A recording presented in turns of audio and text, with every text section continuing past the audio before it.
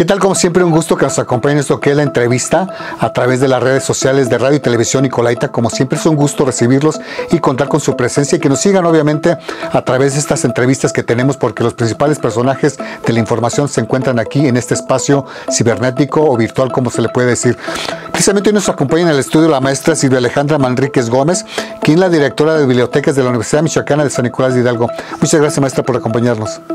Muchas gracias por, por haber la invitación. La verdad es que yo agradezco mucho que volteen a ver a las bibliotecas y sobre todo a la Dirección de Bibliotecas, que es la encargada de organizar todo el sistema bibliotecario de la Universidad Michoacana. un gusto, un gusto que nos acompañen aquí porque siempre es importante la información que nos vienen a contar cada uno de los personajes que se presentan precisamente aquí en la entrevista porque tienen datos muy interesantes que contarnos o comentarnos, eventos, eh, eh, cursos, lo que sea, siempre es bienvenido. Y bueno, este es un tema muy importante porque además estamos hablando del sistema de bibliotecas de la Universidad Michoacana que además cuenta con el ISO 9000? Eh, tenemos el sistema eh, de calidad. tenemos 49 bibliotecas en todo el sistema bibliotecario. De estas 49 bibliotecas, 26 ya están certificadas bajo la norma ISO 9001-2015, que es la que nos ha estado certificando, con la que nos estamos certificando. La idea es que en algún momento todas las 49 bibliotecas estén certificadas y para eso estamos haciendo un trabajo arduo con todo el Departamento de Calidad y Planeación. Ahora que habla maestra acerca de este trabajo precisamente, coméntenos cómo se logra llegar a este, esta excelencia de calidad en cuestión de bibliotecas, cuáles son los requisitos o trabajos en los que se tiene que incluir o meter la, la dirección de bibliotecas para poder lograrlo.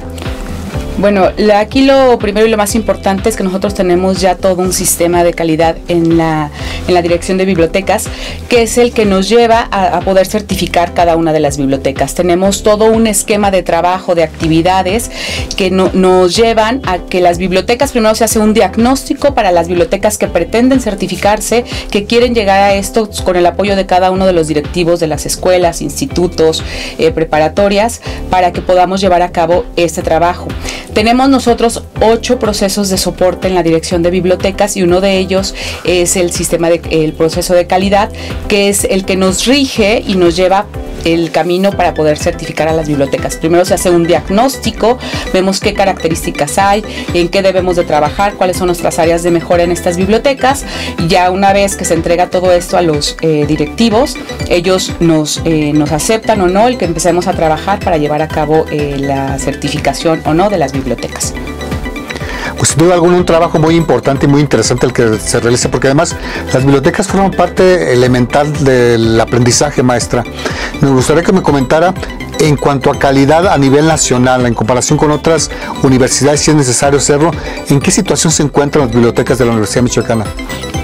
Las bibliotecas de la Universidad Michoacana siempre se han destacado porque vamos a la vanguardia, independientemente del trabajo que, se desempeña todos los días y que todas las bibliotecas de todas las universidades del país, la Universidad Michoacana siempre ha sido reconocida por el trabajo arduo que se realiza en cada una de sus bibliotecas, pero en todo el sistema bibliotecario que tenemos en toda la Universidad Michoacana. La verdad es que estamos siempre a la vanguardia y somos reconocidos a nivel nacional en, esta parte de, las bibliotecas. Siempre se ha hecho un trabajo extenuante y la verdad es que eh, no, no puedo decir en qué número, en dónde nos encontramos, pero sí son altamente reconocidas. Estamos en varios eh, grupos, uno de ellos es el, Compavies, que es una de las organizaciones a nivel nacional, y bueno, formamos parte de, esta organización y la verdad es que eh, somos reconocidos a nivel nacional eh, en cada una de estas actividades que realizamos en el sistema bibliotecario. Maestra, sin duda alguna eh, hay grandes retos y obviamente ahora nos enfrentamos a generaciones que aprenden de una manera muy diferente, que están metidos en las redes sociales, que están metidos completamente en la tecnología. Son generaciones que nacieron ya con esta cuestión de la era digital. ¿De qué manera la biblioteca tiene que adaptarse o se está adaptando o se ha adaptado precisamente para poder sobrellevar este tipo de avances tecnológicos que ahora los jóvenes requieren? Bueno, ciertamente tenemos eh, eh, la experiencia ahora de que los jóvenes están en otra dinámica con todas las redes sociales, con toda la digitalización que está dando. Pero bueno, sabemos de cierta manera y estamos seguros, las bibliotecas nunca van a desaparecer. Sí tenemos que seguir evolucionando, tenemos que convertirnos en espacios confortables que se adapten a las necesidades de, los jóvenes. Sabemos que ahora todo es digital. ¿Qué es lo que está haciendo la, la dirección de bibliotecas? Que sobre todo se reforzó ahora en cuando estuvimos en la pandemia, vimos la necesidad de también caminar hacia todo lo digital. ¿Qué se ha estado haciendo? Tenemos nuestra página eh, de la biblioteca virtual de la Universidad Michoacana que está eh, coordinada por la Dirección de Bibliotecas y aquí tenemos todas las opciones que tienen los jóvenes para buscar bases de datos, libros digitales, hacemos las compras de libros digitales y seguimos preparando a cada uno de los, eh, de los bibliotecarios para que puedan ser referencistas y podamos apoyar a todos los jóvenes, no todos los jóvenes, todos los usuarios que tiene cada una de, de las bibliotecas de la, de la Universidad Michoacana. Seguimos trabajando en toda esta parte de la digital, digitalización, perdón, pero preparándonos todos los bibliotecarios y todo el personal que estamos ahí para ser más que, que, solo bibliotecarios referencistas y que podemos apoyar a todos los usuarios que asisten a la dirección de bibliotecas, a cada uno de, los, de las 49 bibliotecas del sistema bibliotecario. Esta parte de la información que nos da de cómo está funcionando, cómo funciona ahora con los avances tecnológicos, lo que es la biblioteca de la Universidad Michoacana, también está acompañada de otro tipo de actividades como cursos y talleres. Coméntenos un poco acerca de esto.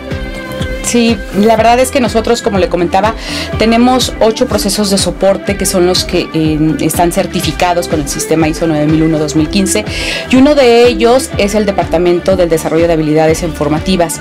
En este departamento damos, eh, apoyamos a todas las eh, universidades, a todos los institutos, a todas las preparatorias que nos solicitan los cursos de capacitación para dar a conocer a los jóvenes todo el acervo que tenemos, toda la riqueza que tenemos y a dar a conocer el uso de la biblioteca virtual de la Universidad Michoacana. También eh, apoyamos esta parte con el proceso de, desarrollo de recursos humanos.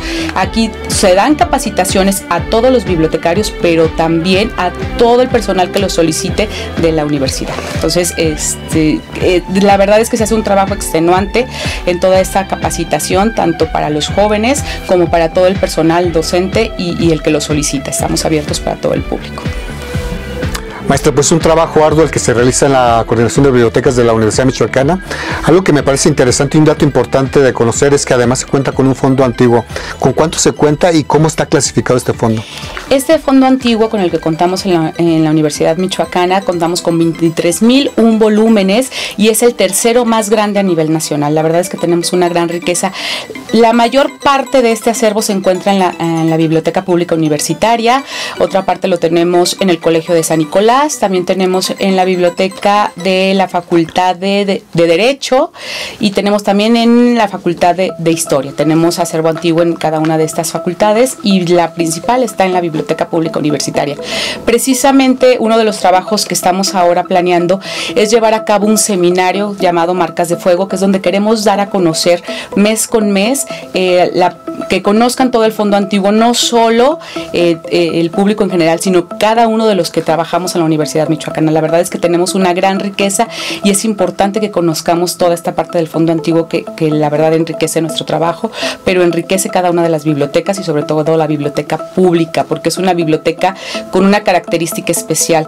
Tiene el fondo antiguo y también el fondo contemporáneo. Entonces eso, eso lo hace de manera especial y particular muy interesante. Bueno, pues no hay pretexto para aprender, para buscar información, para acompañar sus clases académicas, porque se cuenta con el material suficiente también no, hay que olvidarnos de los libros, que esos, como dice la maestra, nunca van a desaparecer. Tiene siglos la, imprenta ya, y sin embargo aquí siguen vigentes y seguirán vigentes porque siempre, nunca será igual lo presencial a lo virtual. Siempre tiene su, su encanto.